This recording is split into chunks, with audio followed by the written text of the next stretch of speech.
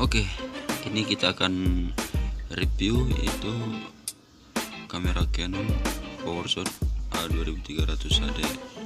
Ini udah lama ini guys, sudah lama sekali guys, cuman masih layak untuk digunakan. Di sini kemampuan dia itu untuk penangkapan kamera itu di 16,0 megapiksel dan optical zoomnya bisa lima kali guys. Bisa lima kali. Dan diameter untuk lensanya itu 1,1 banding 2 8 sampai 6.9 ini bisa jauh ini guys tangkapannya.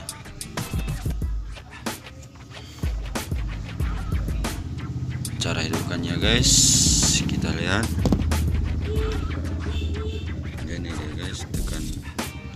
off kalau mau mematikannya lagi tekan lagi on off nya oke dia simple guys. Dia bisa dilipat. Nah, ini kan datar guys. Bisa dilipat. Dan saat kita hidupkan itu menonjol ke depan. Iya.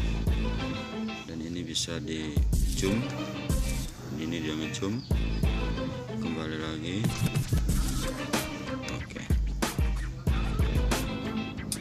dan fitur-fiturnya juga lengkap.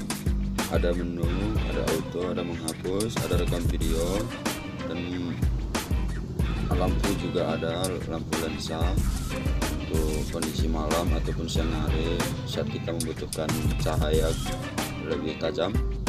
Dan kita juga bisa mengatur ISO nya guys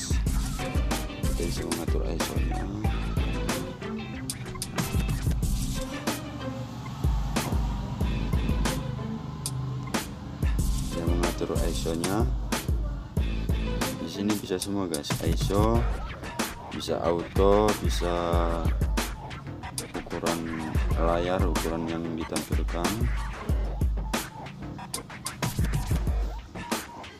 Dan bagi kamu yang lagi pemula kayak saya pemula di YouTube ini sangat membantu ya membantu untuk pembuatan video karena ini udah lumayan bagus ya guys ya.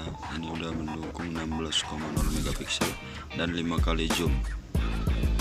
5 kali zoom itu untuk jarak 10 meter 20 meter ini masih jernih guys. Bisa di zoom dia guys. Bisa dekat guys.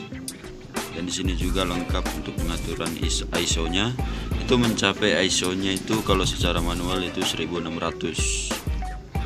zoomnya 5 kali dan ini sangat udah langka guys ya. Ini kurasa barunya udah jarang. Tapi untuk secondnya masih banyak guys. Bisa dilihat di di Shopee ataupun layanan online lainnya. Ini sekitaran kalau dia second guys untuk hari ini 600an 700an kondisi masih bagus guys. Dan ini juga bisa dipakai ke mana-mana karena ini lensanya bisa dilipat guys. Ini dia guys ya. Ini untuk buka lensanya tekan on off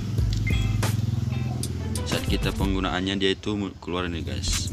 Jadi kita mau untuk menyimpannya ataupun taruh ke kantong bisa juga guys dengan simple dengan tekan on off dia lipat lagi. Gampang guys. Ringan dan bermerek juga guys. Canon. Canon PowerShot A2300 HD oke guys ya semoga bermanfaat untuk pengenalan Canon kamera ini ya guys. Saya rekomendasikan jika budget kita minim minim maksud saya jika budget kita minim alangkah lebih baiknya kita menggunakan kamera ini nggak perlu kamera mahal karena ini kuncinya saat editing. Kalau aku menggunakan editing itu menggunakan aplikasi KineMaster dari Android dan hasilnya sangat memuaskan guys. Silahkan dicoba guys. Mantap